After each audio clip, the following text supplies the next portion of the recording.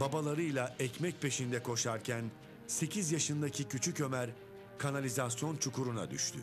Bu haberi duyan polis memuru olay yerine intikal ettikten sonra küçük Ömer'i kurtarmak için canı pahasına kanalizasyon çukuruna atladı. Ömer'i canlı çıkarmayı başardı. Fakat bütün çabalara rağmen Ömer hayata gözlerini yumdu. Akıllarda polis Alper Arıcan fedakarlığı kaldı. 2014 yılının en fedakar polis ödülü Alper Arıcan.